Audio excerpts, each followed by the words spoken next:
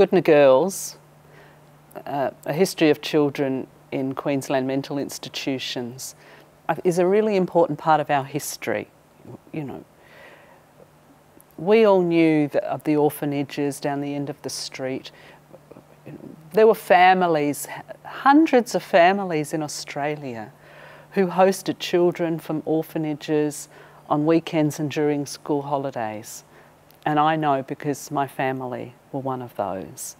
This is the history of survival, but it is all of our history of acknowledgement, of inclusion of all the children who were in institutions and of a punitive welfare system that all of us need to understand and do what we can to not allow this to happen again. This is not just the history of a handful of survivors. This is a central part of Australian history.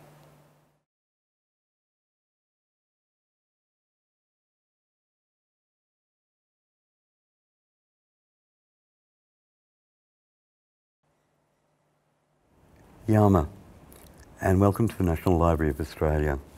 Um, my name's Marcus Hughes, and I'm the Director of Indigenous Engagement here at the Library.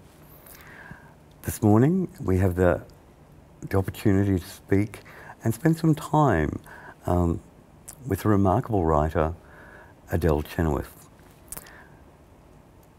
From the outset, I'd like to acknowledge that we meet today on the land of the Ngunnawal and the Ngambri, and I pay my own respects to the elders past and present, and through them to all Australian Aboriginal and Torres Strait Islander peoples. Adele, you've written an amazing book that brings together an incredible amount of story around a group of women that you've referred to as the Goodna Girls. When I first um, was offered the opportunity to, to read your book, I was immediately, immediately hit by the resonances that there are for me. As a young fella growing up in the queer community of Brisbane in the 70s, when my girlfriends had all been to Wolston or Wilson or Lowson House, um, to hear that or to see that and read and hear their voices on the page um, has been a remarkable experience. And from the outset, I'd love to thank you for that. It's been an absolute privilege. And then we had the opportunity to meet. And it was another delightful experience to, to meet someone that had created this document that has such gravitas, um, but to get to know more about you and your crazy journey um, across the multidisciplinary creative sector into the advocacy sector. Can you tell us a bit more about you? Um, so, you know, that's a hard question for a working class girl from the suburbs because immediately you hear the inner voice that says, don't get too big for your boots. So it's, it's a privilege to be here with you. I, I want to say that too, thank you. Um, so, you know, I grow up in uh, working class Adelaide. Um, uh, my surname is Cornish, you know, a very significant Cornish mining community in South Australia. My mother's side, it's the German, um, the, the, you know, the Silesian people that came out in the 19th century. Um, uh, you know, I went to school. um, I, uh, and then I became a teacher because that's the classic social mobility degree for um, working class girls, that or nursing. Um, and uh, but then I got really passionate about teaching drama and realised that I needed to do that more. So I um, didn't tell my mum, but I went and auditioned for a theatre director's course. They take one person a year. I got in. I couldn't believe it. So I then studied drama and studied to be a theatre director I, as a you know, mature age student after being a teacher for a while. Um, from that, I got employed on a museum, very significant museum project. Um, and and but I worked a lot with community in that project. And so from that, I went to the museum sector. Um, I've also worked in the public service, um, in policy. Um, I've worked for a student union um, as an organiser, so you're helping students with their campaigns. So, but I suppose, you know, I'm, I'm an artist. I find that a bit of an elitist term, but that's how people have described me, so perhaps I've got to own it. But I'm a teacher, I'm a researcher, and, and an advocate.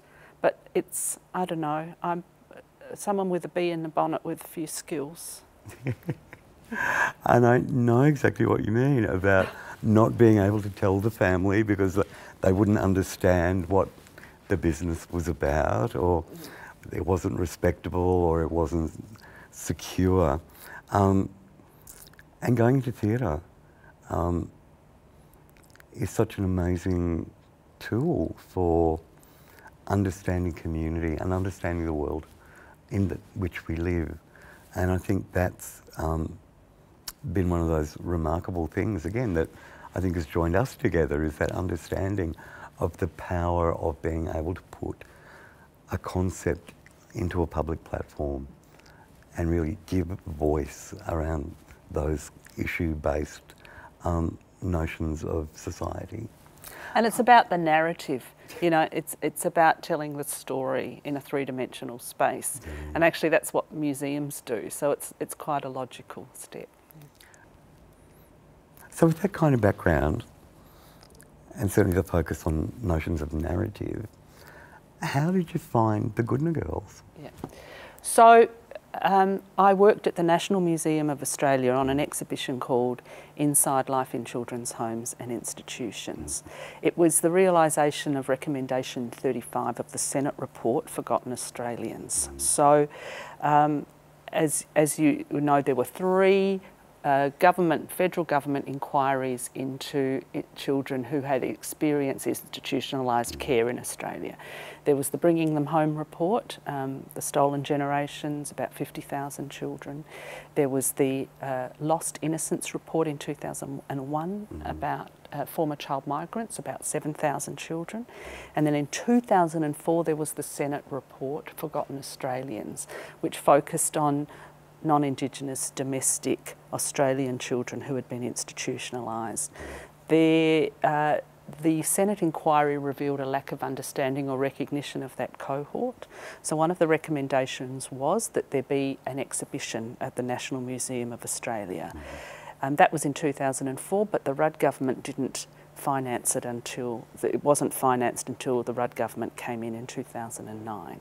So I was brought on as a curator of that project and that exhibition acknowledged and represented the experiences of childhood institutionalisation of the stolen generations, former child migrants and forgotten Australians. To do that, I needed to engage with community and I did, um, and I did I managed a blog, um, and so people, survivors of, of institutionalised child abuse, emailed their stories, mm-hmm. and I came across this particular group of women who had been in Wolston Park Hospital, an adult psychiatric facility when they were children. Mm-hmm. Um, I already knew about this narrative from my previous work as a student as a research organiser at the University of Queensland Union. The report came out when I was working there and I had to be familiar with all the Senate reports. That was part of my job.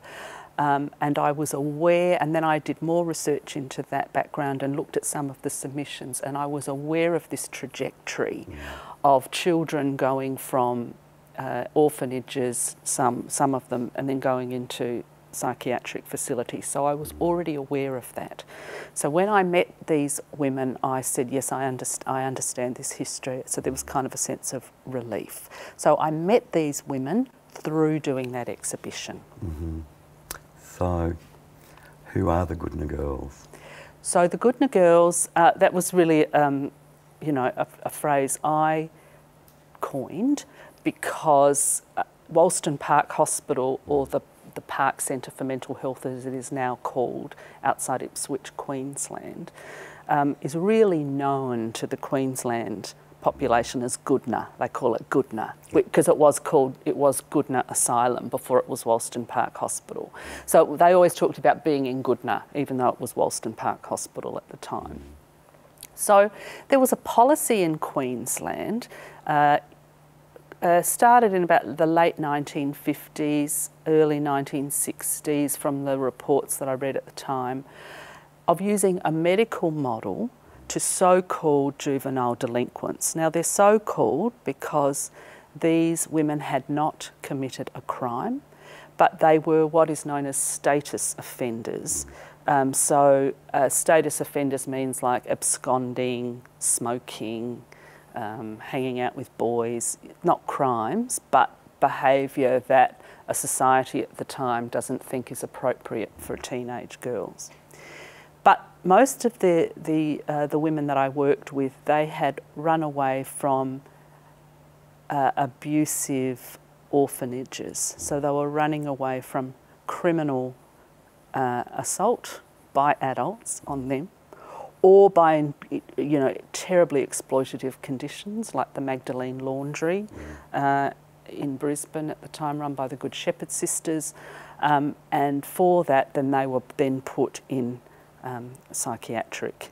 Um, so then there was another layer, which were these detention institutions. There was um, Kalimna, run by the Salvation Army, which you know use psych use drugs. Um, there was um, Karrala House out of Ipswich, uh, mental facility for teenage girls, and then so there were um, specific centres that used a psychiatric model for teenage girls, and then some were then taken to an adult psychiatric facility. So the Goodna girls are survivors of being child inmates in an adult psychiatric facility in Queensland. They did not have a mental illness. They did not commit a crime. Oh, one of the women stole a bike when she was seven, stole a bike to help her run away.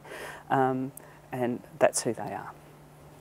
So Adele, with, with Goodna Girls, you're documenting a huge amount of history and the girls are telling you their histories. Is there, and I know it's a really difficult question, but is there just one example of um,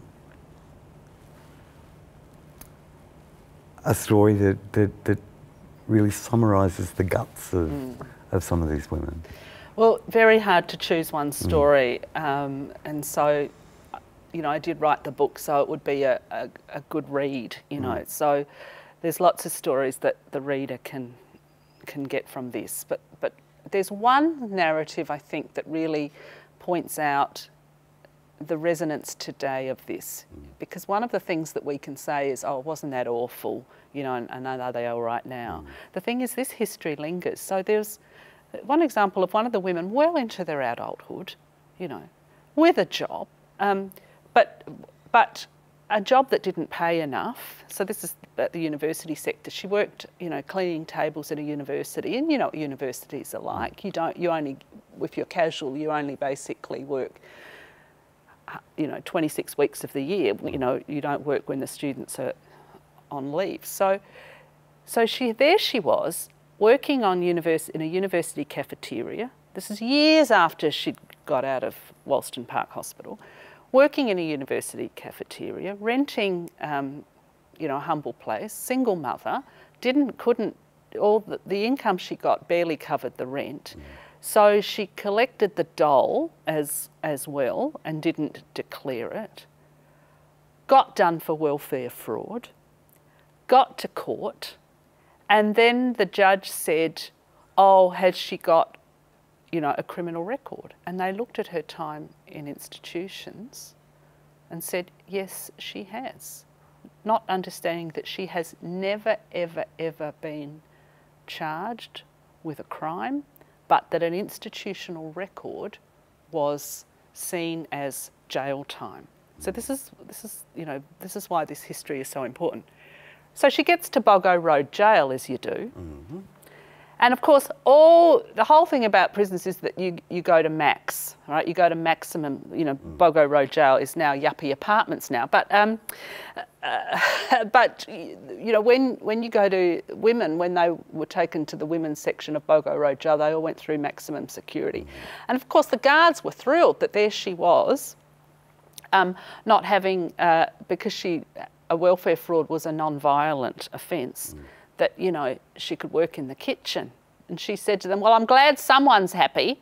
Anyway, so she worked in the kitchen, and because she was in there for a non-violent crime for welfare fraud, um, you know, her job was to help deliver the milk to all the other sections of the jail. And she said, you know, and but of course all the other prisoners, they want, you know, I'm forever passing notes from one prisoner to one section to. She said I had a, she had a, had a slit in my shoe where I used to hide the notes, you know. And then one day she was delivering the milk and this particularly vicious prisoner confronted her.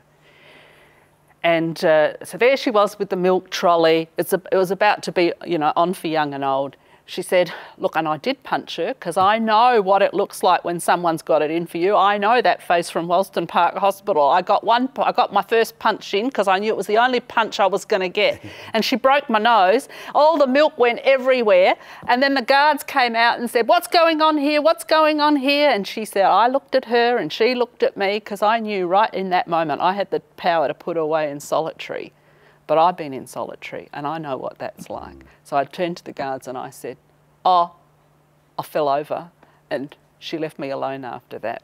But I mean, you know, what resilience. But the point is, this is an ongoing narrative that has informed them throughout their adult lives. It's time to, you know, let it go, acknowledge them, and understand. So Adele, what was what was your driver in connecting with what is quite a deeply emotional, tragic um, narrative? What what was it that you wanted to give to that? So they were the driver not me.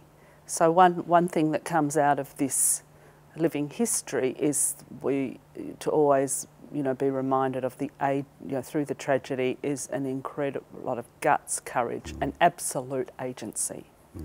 by these women who know exactly what they want, who are completely articulate, mm. intelligent, witty, and um, they were the driver. So it was the opening of the exhibition and they said, "Oh, okay, that's it. Is that it now? You know, we've done the exhibition. We've made the the politicians look good. Um, uh, you finished with us now. Is that it? Are you going to help us get justice?" So the driver was this realization that exhibitions are openings, not endings. You, um, they are not closures, they are the beginning of something new. And I realised that the story wasn't over. And, and if we can put this, this in a wider context, um, it's, a, it's a great question. I just want to get the answer right. And, and not to talk about me, because it's actually not about me. It's not about me. It's about looking at the systemic structures. And so, you know, I think it is absolutely appropriate for the cultural sector to give something back when people from marginalised communities re traumatise themselves to give their narrative for an exhibition. A narrative, you know, an exhibition that gets reported in annual reports that, that makes uh, a cultural organisation look good. They can use it to, to support their assertions that they're inclusive. To take those stories is a bit like going into someone's land and mining the minerals and not giving anything back. Mm. So, this sense that we gave you our stories, now what do we get in return? Mm. I think that, so they were the driver. Mm. And, and in the, the, I'm just going to call it a document. Um, in is. the documentation, it is. It is. Um, you've also included the voices of um, not just the Goodna girls, but people who were associated with. Mm. Um, did you want to talk to that a little bit? So what? Uh, so the book thank you, Marcus. So the book comprises um, the the oral histories of, um, of of four women who were in Goodna, and also three staff members who, at the time, witnessed what was going on, tried to speak out. Um, that that's kind of, in some ways, that's a controversial decision because one of the things you don't want to do is validate, feel that you've got to validate the narrative by the testimony of some professionals. You know, you don't want to set, you know, I don't want to set up a situation where, well, what they're saying is true because um, these elite professionals also say it was true.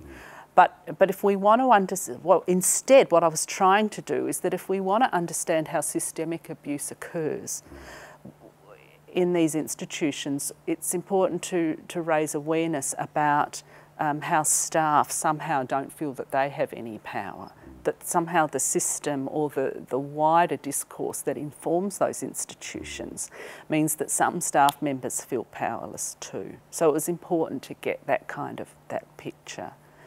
Um, and also what the women, they know their stories so well. It was I wanted to place them in a wider socio-political context so that the reader could understand why and how this happens so that we don't repeat it. But I, I want to say that this document, this book, the aim of it wasn't a book. This was a means to a campaign. Let's be clear about that. When they said, Are you going to help us get justice? This was about being summoned to campaign shoulder to shoulder with them. This was, this was a call to activism nothing less. But I, but, but it, but it needed to be um, a, a campaign that was scaffolded by rigorous research, so that the bureaucrats couldn't fob them off yet again. So it's it's it's saying, well, what what research, what skills can I bring the, to the table to support their articulate um, bid for justice? Mm. So the girls have seen the publication now? Yes. What's their response? Well, they saw it before, so uh, in the whole. So um, they so so part of my process was to be you know um, ethically rigorous. So um, I worked with them, I interviewed them, um, and then I put their stories together from you know hours and hours of recordings, um, and this wasn't an ethical requirement, but I did it. Um, the usual process is that they see a transcript, but um, because of the real importance of, of agency and not doing anything without um, a collegial methodology, um, uh, they all read and you know approved their chapters. Uh, so they'd, they'd seen it long before it was published. But what they hadn't seen was the introduction and that they really liked that. That, that meant a lot to them, mm. that it was clearly explained why they were there and why it was wrong that they were there. One woman, when she received the book, um, she told me that she cried because she felt a sense of relief that I don't have to hold on to the story anymore. She's told that story over and over and over again, often on deaf ears. And the fact she can now let it go and just say, here's the book, you read it. Mm. So Adele, when we talk about the capturing of these these stories, um, how how important were the the recordings of those mm. those oral histories in the process? Yeah. So, I mean, oral history is a very important part um, of public history, mm. and you know it's something that um, the National Library of Australia had done. So, you know, we had had the um, the Rudd government finance the museum exhibition. Mm. The Rudd government also um, supported funded the National Library of Australia to record oral histories of former child migrants and the forgotten Australians. So you here at the National Library have this really fantastic collection of oral histories of former child migrants and the forgotten Australians. Um, so it's really, it was applying that methodology um, to this to my work with these women. Um, and, and, and in a little different. So, what the National Library so brilliantly does is it records oral histories that then you can access and listen to. Um, this process was not about recording their oral histories as uh, an outcome in itself, but as a means to, a, as part of a wider methodology, which was about archival collection. So I looked for archival records. I sourced the government reports of the day um, in which these policies were made. Um, I, I also, you know, with their blessing, um, they offered me their own childhood records, their own archival collection. I, I, want to say the other thing about these women is that they were incredible archivists. They archived their own campaign. Yeah. So it was an oral history methodology, it was an archival methodology, and it was also about. Um, understanding the, the doing the research on the theoretical lenses so I could hang this narrative on. So uh, a lot of secondary source research into the history of institutionalized care over time and internationally. So the oral histories um, comprised one part of this research but probably central to the research um, I was really aware that they had told their stories all over and over and over again, that that was re traumatising, so it was important to get that on record so that they didn't have to bear that burden over and over again. Um, and, and really for it to be testimony as evidence. Um, I had gone to the Royal Commission um, of into institutionalised responses to child sexual abuse with them. So we'd already, you know, that, that notion of oral history as evidence, as testimony in, in a legal inquiry, you know, was, was very close to my mind and understanding. So the book then comprises my research of their oral histories um, and the archival research I did in an introduction. But what was really important in writing the book there were, you know, I was approached by one publisher, it's so hard to turn down a publisher, I cannot tell you, who wanted it completely rewritten so that it was more of a textbook and that I'd refer to these um, oral histories mm. you know, and quoted by them. And no, they had to be self contained mm. chapters without mm. sort of territorialising them mm. with academic speak. It was um, so it was really once I had written them, it was about finding a publisher that understood the value of an oral history as a self-contained chapter, mm. not to be referred to and quoted amidst academic mm. clutter. And that authorship, that acknowledgement of authorship, is so critically important in the whole picture of what you're creating. Yeah, it's about who has the voice. Yeah. So, I know working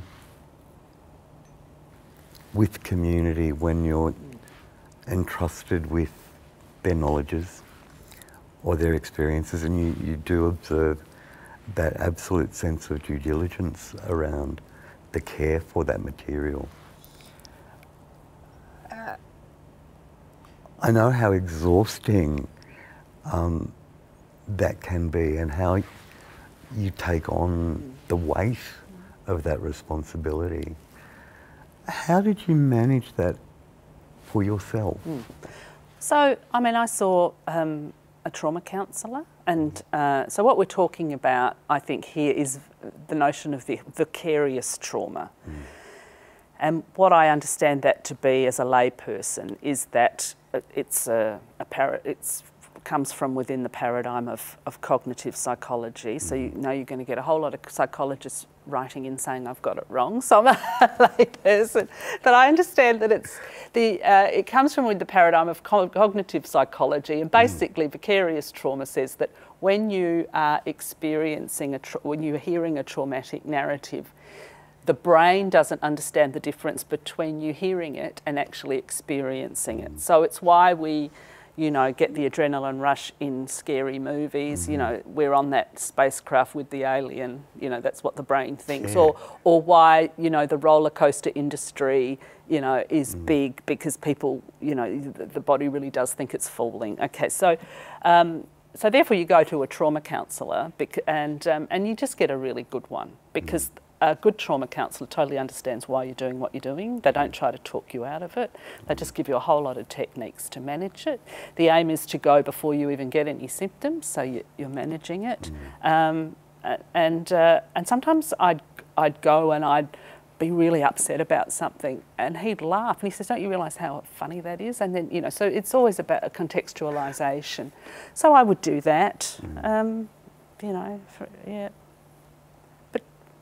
But I suppose, to answer the question, uh, the trauma, for want of a better noun, of not doing anything would have been far worse than doing it. So the other way is through action, through getting it done, getting this narrative out in the public and trying to move bureaucrats to finally take notice of this.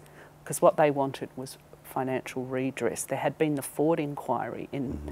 1998, but adult institu- children who were in adult institutions. The Forde inquiry was the, the Queensland Commission into abuse of children in institutionalised care, but the Forde inquiry excluded children in adult institutions, so they never had redress. So when they mm. said we want justice, that's what they meant. So how did I just uh, you just you uh, keep your foot on the brake pedal and you get a resolution to it. The outcome is is the driver for health. So where to next? So I think there are several things. Um, there needs to be more research done, mm-hmm. and I think there needs to be a rigorous conversation, several conversations about how the cultural sector in Australia can work with marginalised groups for social change. It sounds difficult, but what the process of Goodna Girls has told me is how achievable it is. So, one thing that we need to look at is um, we do know um, that children in orphanages in the 20th century were used as subject of medical tests. There needs to be research in what those tests were and those survivors want to know what they were injected with, right? We do know the Goodna girls, if you read the book, they'll talk about the uh, ridiculous dosages of psychiatric drugs that, that, uh, that they were enforced to take these women did not have a mental illness and yet they were given psychiatric drugs. All that, need, that needs to be an investigation into the medication and institutionalisation. Uh, two of the women have had children with um, really severe uh, brain tumours and they are concerned at the intergeneral, intergenerational effects of that medication. That that needs to be researched and the Queensland Government need to come clean on whatever the findings are. There's also a lot of anecdotal evidence about um, children that may have died at Wolston Park. Now it's anecdotal, but you know, I think there needs to be some research on the admission records, the burial records, and when they don't align, where you know, at the body, there needs to be. We need to uh, there needs to be more research on childhood admissions into Wolston Park Hospital. Those archival records are um, kept uh, very close to that organisation's chest, and I would say that's not democratic. Um, research is a democratic process, and that, that needs to be that work needs to be done. I also think that in child protection services that there needs to be an acknowledgement of the importance of historical research in understanding current policy. So I've seen several documents about current child protection policies. There's no reference to any history. We need to see this through line.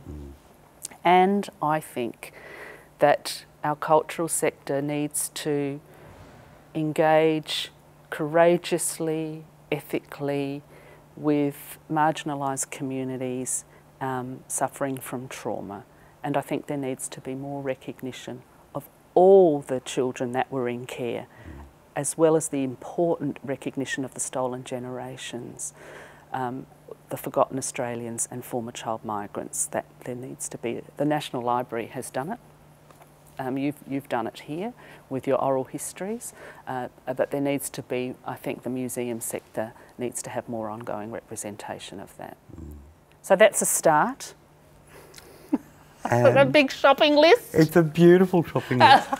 and once we've bought all of those things, what do you think it'll look like for our young ones? I think that um, that that, you know, and this is where, before I answer that question, mm. I want to say that when one is doing this work, um, the best way you can do this work is to know your skills and qualifications mm. and don't step over that. Mm. So, you know, so I'm not a social worker, I'm not a counsellor, and so now I'm a little bit treading my toe in the water mm. outside my work as, you know, theatre director, curator, researcher. But I would want to imagine or hypothesise what a child protection service and policy might look like when those children in out of home care have um, more agency and say in placements. And this, as I say, this is my hypothesis. And what might happen if those, that policy was formulated from regular and rigorous dialogue with those who have been through it, the forgotten Australians, former child migrants and the stolen generations. Um, it's a, it's a nation and a culture that knows how to join the dots. It's beautiful. Adele, thank you for sharing your process, the experience that you've gone through in creating this incredibly important document.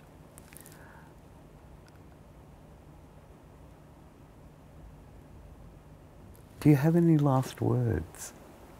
Just to say thank you so very much, and, I'm so grateful to the National Library of Australia to allow this, you know, what may be deemed a difficult but a very important conversation. Mm. You know, it's um, thank you so much for um, acknowledging the Goodna girls and putting them right at the centre here mm. today of the National Library of Australia mm. So they can hold their heads up high and know that they are an important part of our public history. Thank you for sharing um,